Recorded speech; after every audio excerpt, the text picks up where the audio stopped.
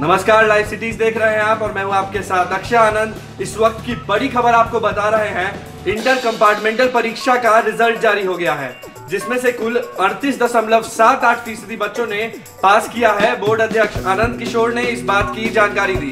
कला, विज्ञान और वाणिज्य तीनों संख्याओं का रिज़ल्ट जारी हो गया है। कुल उनसठ हज़ार एक सौ सैतालीस छात्र सफल हुए हैं, यानी कि अड़तीस दशमलव सात आठ फ़ीसदी बच्चे पास हुए हैं इस परीक्षा में। विज्ञान में सैतीस दशमलव दो, वाणिज्य में छियालीस दशमलव एक नौ और कला में चौवालीस दशमलव ज़ीरो चार फ़ीसदी छात्र पास हुए हैं।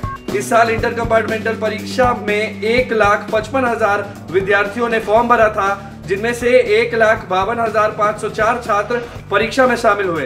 कंपार्टमेंटल परीक्षा 13 से 20 जुलाई तक हुई थी। बिहार विद्यालय परीक्षा समिति के अध्यक्ष आनंद किशोर ने आज परीक्षा फल जारी किया। उन्होंने कहा कि पिछले साल की तुलना में इस बार रिज़ल्ट संतोषजनक हुआ है। तो कंपार्टमेंटल परीक्षा के रिज़ल्ट आने के बाद जो बच्चे पास हो गए हैं, उन्हें ग्रेजुएशन में एडमिशन लेने के लिए थर्ड मेरिट लिस्ट के आने का इंतज़ार करना पड़ेगा।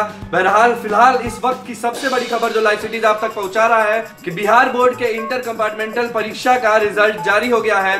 अड़तीस दशमलव सात आठ फ़ीसदी बच्चों ने इस एग्ज़ाम को पास किया है। बहरहाल, बिहार से जुड़ी तमाम बड़ी खबरों के लिए आप बने रहिए लाइव सिटीज़ के साथ। आप हमारे फेसबुक पेज को लाइक करें यूट्यूब चैनल को भी सब्सक्राइब करें, साथ में बेल आइकन ज़रूर दबाएँ।